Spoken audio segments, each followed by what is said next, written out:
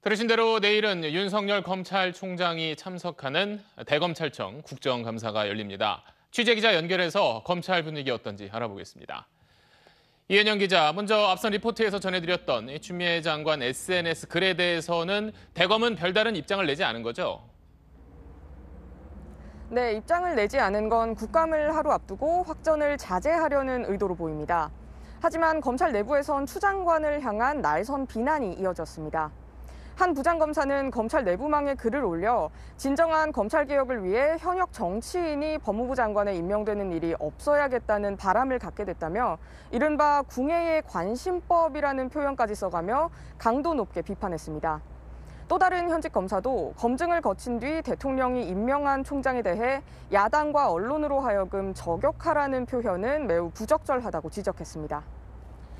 자, 이런 상황에서 윤석열 검찰총장이 내일 이제 국정감사에 나가는데 그 자리에서 어떤 이야기를 할지 관심이 많아요.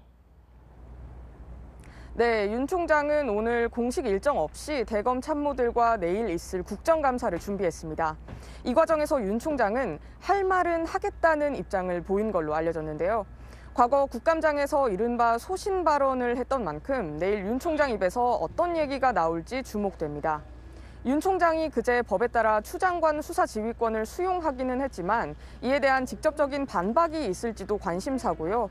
또 옵티머스 펀드 사기 사건과 관련해 정관계 로비 진술이 총장에게 제대로 보고가 안 됐다는 논란, 또 라임 사건에서 야권 인사와 검사들의 비위 의혹을 묵살했다는 의혹 등에 대한 구체적인 입장 표명이 있을 경우에 파장이 만만치 않을 걸로 보입니다. 지금까지 대검찰청에서 전해드렸습니다.